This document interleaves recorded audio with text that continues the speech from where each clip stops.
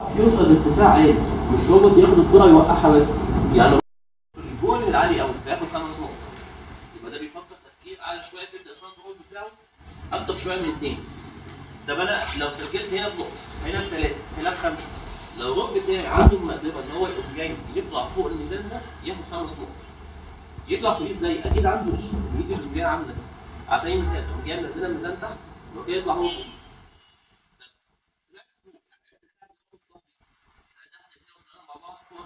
ده بناخد 10 نقط.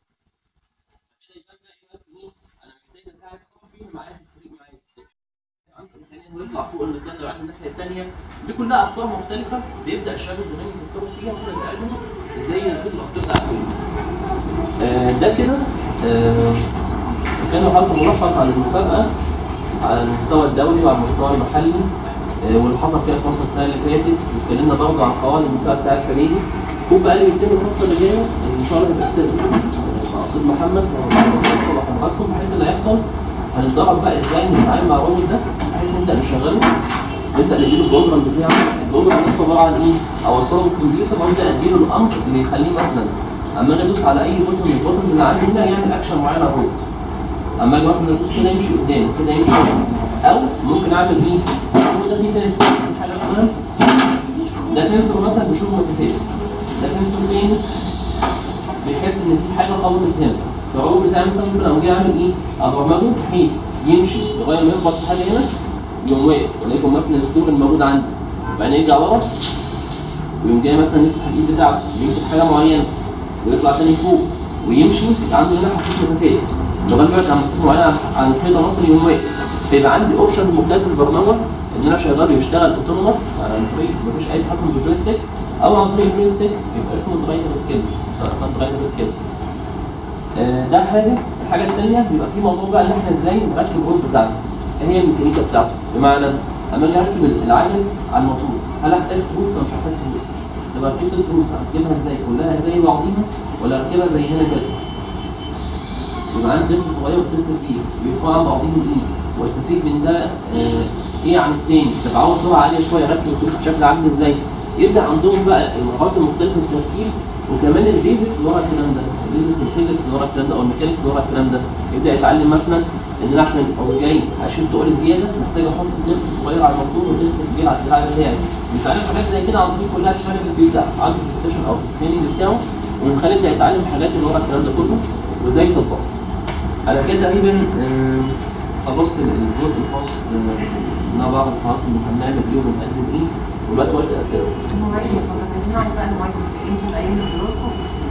هو معايا دي. هو عامة هشتغل يوم واحد في الأسبوع. آه، لو بعد الدراسة هيبقى بالاتفاق. شوفوا يعني أي يوم مثلا بيبقى ها؟ غالبا يعني يعني السنة اللي فاتت كنت شغال المسابقة التانية الخميس برضو كان مناسب لأغلبية الناس بعد الدراسة. تمام بس؟ ولو ابتدينا في الصيف يعني متوقع إن نبتدي خلال أسبوع أو أسبوعين. هيبقى يوم الثلاث من 10 ل 2 تمام؟ طب معلش أنا كان ليا سؤال. ال ال ال ال task ديت دي autonomous ولا آه، ب joystick ده سؤال حلو جدا. المسابقة بتاعتنا آه، فيها حاجة شوية مميزة. اللي بيحصل فيها إيه؟ عندنا فيها ثلاث أنواع من المسابقات بتتقابل في المسابقة. آه. حاجة اسمها teamwork challenge حاجة اسمها drive skills challenge حاجة اسمها programming skills challenge إيه دول؟ في الباب. لو ليه في الباب؟ في الباب يا عبد الرحمن. ال drive ال teamwork challenge هو التحدي المتعيدا اللي هو الفريقين بينزلوا مع بعض الفريقين جوه الملعب. على فكرة أول مرة يشوفوا بعض اليوم ده يوم. مسابقة بينزل جدول random كده كل الفرق. فريق مثلا X هيلعب مع فريق فريق Y هيلعب مع فريق W مثلا. فريق آه، واحد هيلعب مع فريق اثنين جدول random تماما يعني. ال teamwork challenge based على إن two teams بينزلوا دقيقة واحدة خلالها بيحققوا ال task بتاعتهم. وهي ما هياش task بمعنى missions ورا بعضيها. لو mission ما وقعتش وقعت منه مش عارف ينفذ باقي ال missions لا هي عبارة عن تحدي في قواعد جوه كل فريق وشطارته يلعب على أنهي مكان.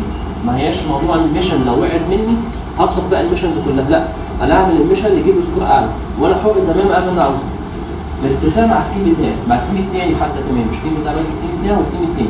فأول حاجة اسمها teamwork challenge two teams بينزلوا على الملعب خلال دقيقة باستخدام ال joystick تاني نوع من ال challenges حاجة اسمها ال programming skills challenge ده عبارة عن إيه؟ دقيقة ال team بينزل بالروب بتاعه على الملعب بيعمل ال mission دي autonomous. يعني مفيش أي تحكم بال joystick خالص. ويعمل score اللي عاوزه برضه. ممكن يسجل مثلا الكوره دي يوقعها تحت بس.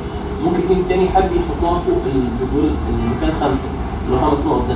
في team تاني ممكن يحب يطلع فوق ال ال- فوق ال فوق الميزان. ممكن team يحب يعمل ثلاثة مش مشكلة خالص. يبقى حاجة اسمها ال programming skill challenge بيكون كله autonomous دقيقه واحدة بس.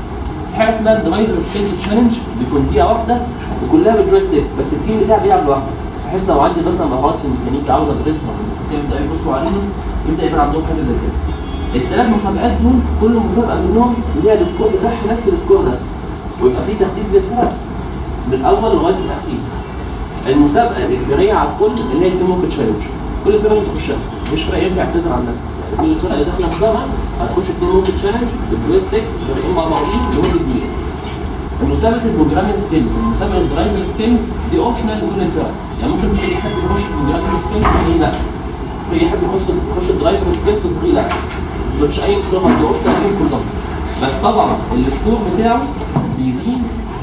لو دخل حاجة زي ال programming skills وبيزيد برضه دخل حاجة زي ال driver skills الأساس عندنا ال teamwork challenge بنرتب الفرق كلها عليها ويطلع أول تاني تالت رابع. لو فريق دخل حاجة زي ال programming skills أو ال driver skills بيضيف ال score بتاعه ممكن يرفعه حتى في ال ranking بتاعه بعد كده. بحيث مثلا هو مثلا طلع الثاني أو الثالث ممكن تكون له مسابقة ثانية من مسابقات ال programming skills وال driver skills يرفعه في ال ranking بحيث يطلع مثلا الثاني أو الأول.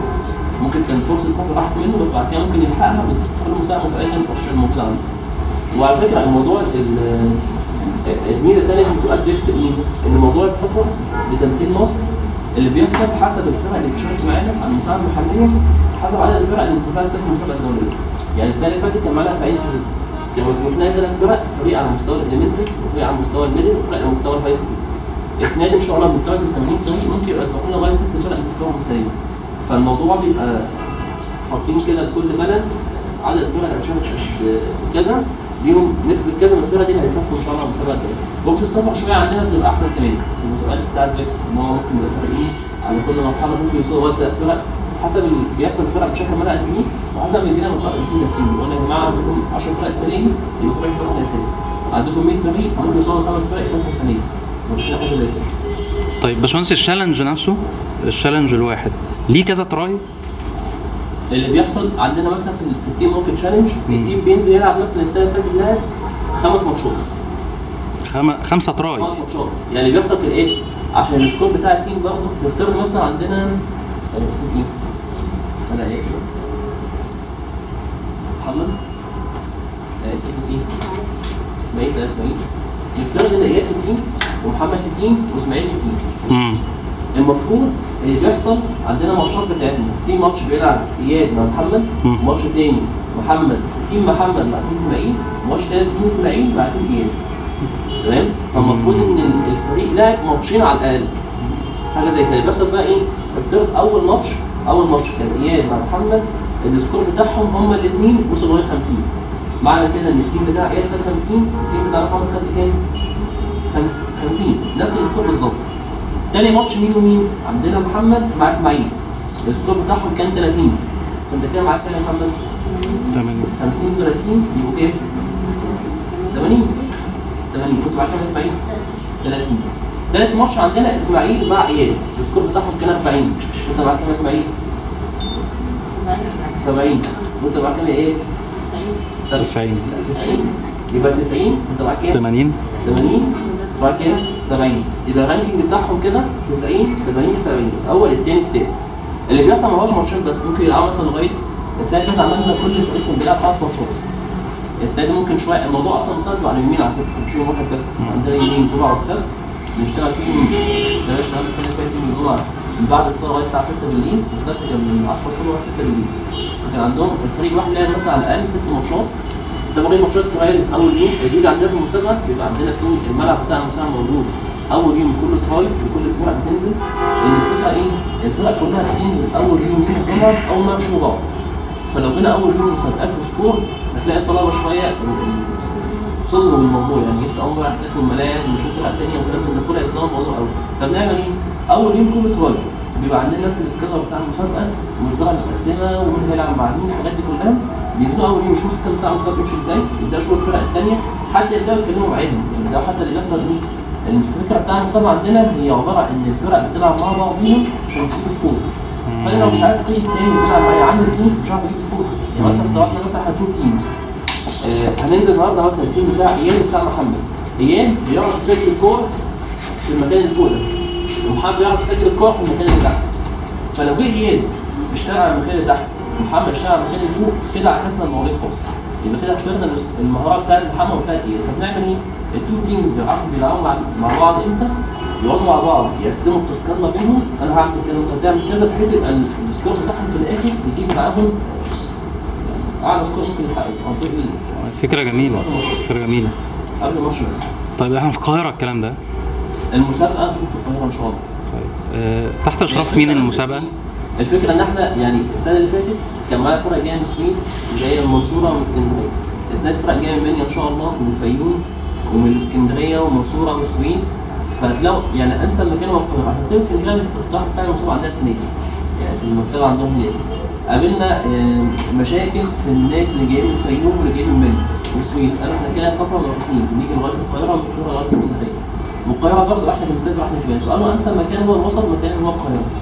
فاتت عملناها في ال Family Park اللي كانت في رحاب كانت تحت شرم منطقه اسكندريه كان معانا سنين رعايه ورعاه وكان معانا مصر كتير وكان معانا إحنا كشركة بي ان تي إحنا المفروض ال- ال- بنمثل REC Foundation اللي هي المسؤولة عن تنظيم مسابقات على مستوى العالم وعلى مستوى مصر. السنة دي إن شاء الله احتمال المسابقة تبقى في ال Family Park ده مكان زي السنة اللي فاتت بالظبط. وارد تبقى موجودة في الجامعة الأمريكية إن شاء الله.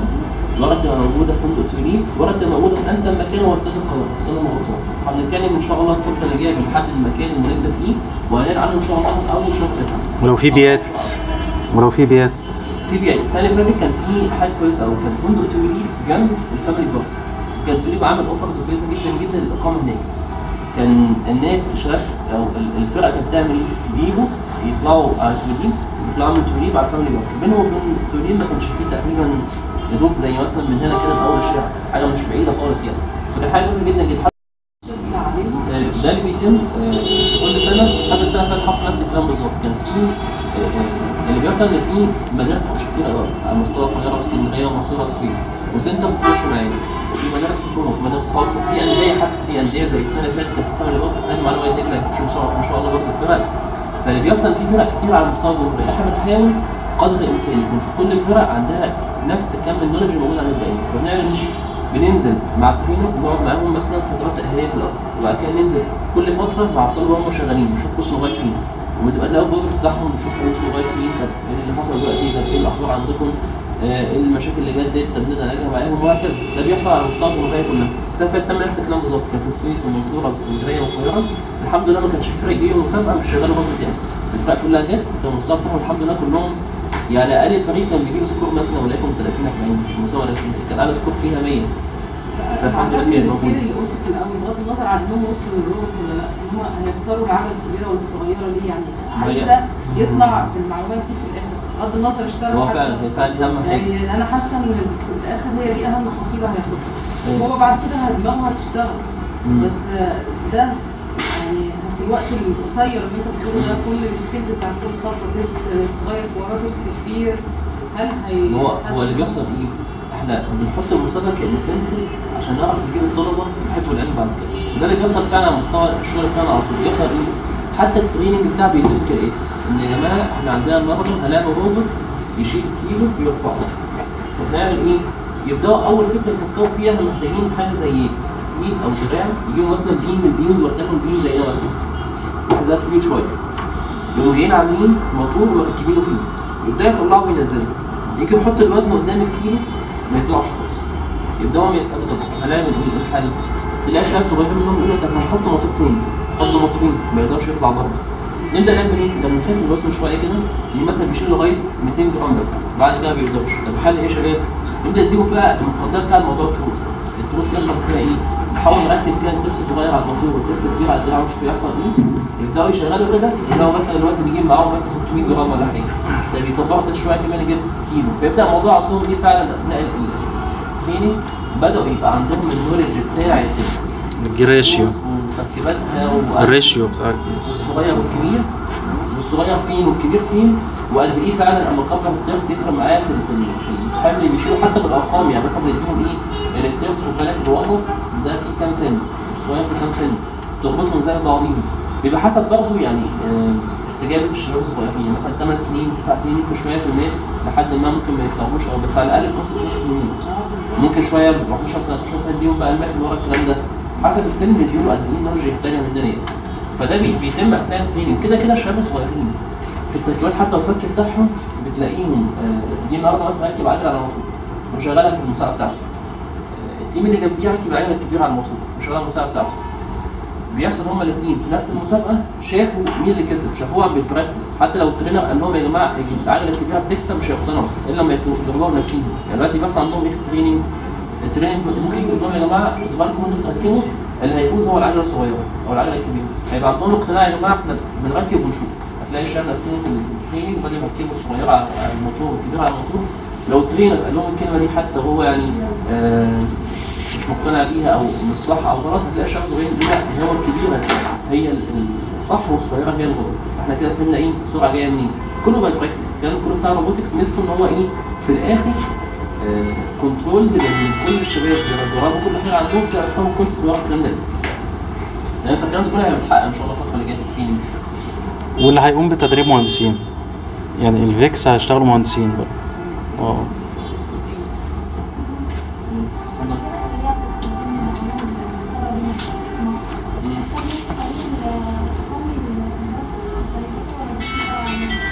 عليه المفروض إن إحنا مسابقة ال VEX أصلا مسابقة international المفروض ليها تصفيات محلية على مستوى كل بلد آه، على مصر والسعودية ولبنان والأردن والبحرين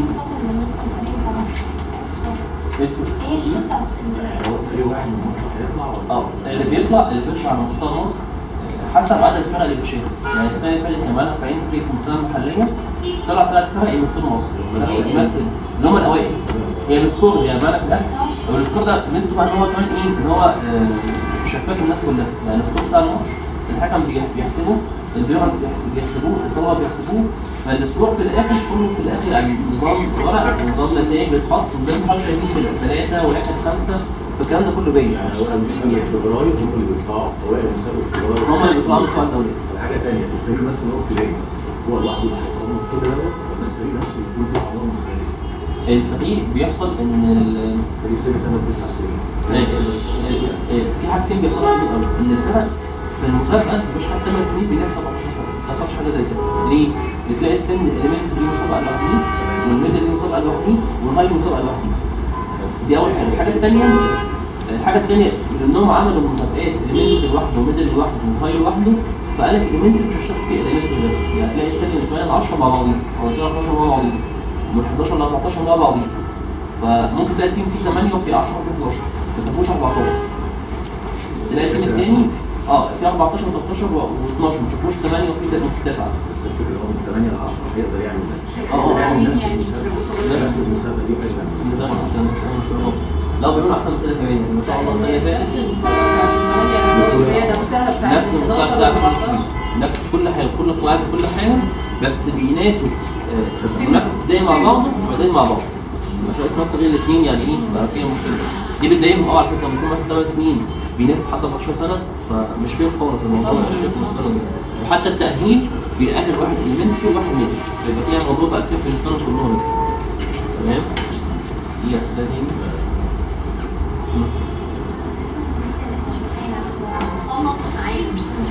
عفوا يا فندم. في site أو حاجة يعني هم يشوفوها فيه في آه، في VEX Egypt تمام؟ VEX Egypt هي المفروض الموقع بتاع المسابقه وفي نفس الوقت هتلاقوا صفحة ال Facebook VEX Egypt تلاقوا عليها كل حاجة خاصة بالمسابقه السنة اللي فاتت وهتلاقي أصلا كان بينزل عليها القواعد أول بأول والفرقة اللي شاركت معانا موجوده السنة دي هتلاقوا كل حاجة عليها إن شاء الله. سواء ال website أو سواء صفحة ال Facebook VEX Egypt وال ITD education and technology هي الشركة المفروض المسؤولة عن تنظيم المسابقه هتلاقوا ليهم صفحة تانية اسمها اي تي ليبيا دلوقتي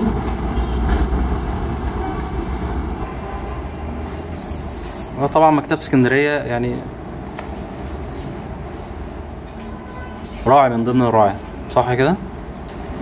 هي في كل مسابقات الروبوتكس في كل مسابقات الروبوتكس مكتبة اسكندرية مشرفة يعني السنة إن شاء الله احتمال يكون معانا جامعة زويل كمان. حاجة ثانية كويسة السنة دي. ان المفروض تكنيكال ضغط معانا السنة دي. إن شاء الله بنتكلم معاهم الفترة اللي جاية. يكون معانا جامعة زويل تكنيكال ضغط مهمين يبقى حاجة كويسة. كمان ضغط راجل للمسابقات